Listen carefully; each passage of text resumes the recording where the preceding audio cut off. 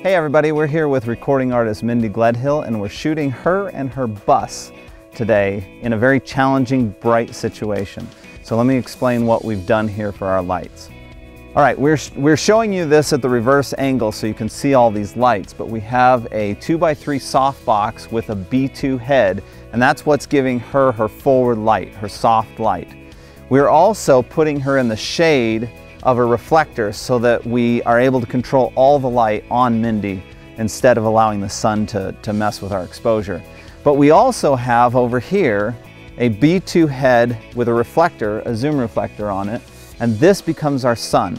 The reason we do this is so that we can control how much of our sun hits Mindy rather than allowing the sun to determine that.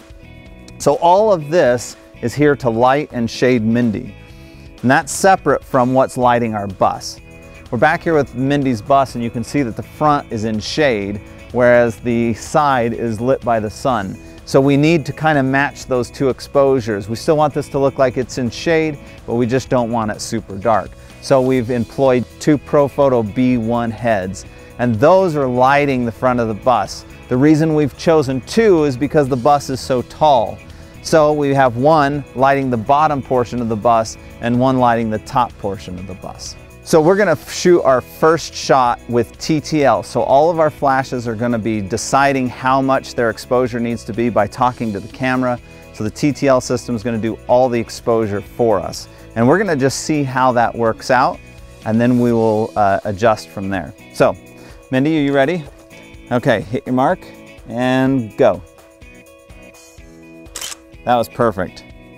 Excellent. Okay, so now what we're gonna do is we're going to change into a, a manual setting. So we're going to, on the Profoto uh, Air remote, we're going to change it to manual so that we can adjust the light because when we look at the light, if you're looking at the, the photo, you'll see that the, the shadow on the bus is a little too bright. It looks like it's being lit and we want to tone that down.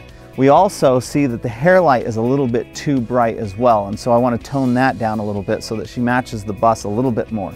So I'm gonna do that here on the air remote and just turning it to manual and I'm selecting the C channel, which is our bus, and I'm bringing the energy down. I'm also selecting the B group, and the B group is the hair light. So we're gonna bring that down just about a third of stop because I think it's just a little too bright. And then we're gonna shoot again. You ready, Mindy? All right, let's go. Excellent, perfect. So now if you compare the two side by side, you can see that the TTL did a great job, but it tried to match the side of the bus with the sun, and it tried to fill in the shadow with the same amount of light, and it just was too bright. We want it to look more natural. We brought it down, looks a lot better. So I, I like the manual shot better, but the TTL did a good job. So when you're playing with your TTL and manual, oftentimes I'll use the TTL to get me in the zone, and then I'll adjust from there to make it just what my vision was.